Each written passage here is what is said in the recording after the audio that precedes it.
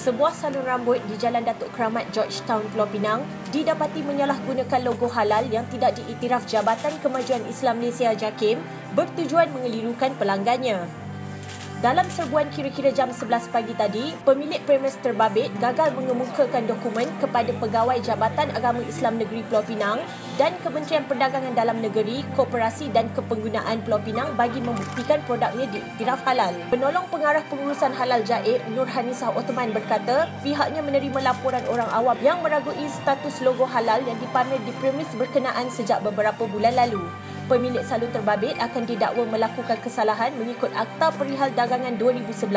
kerana menyalahguna perakuan dan penandaan halal.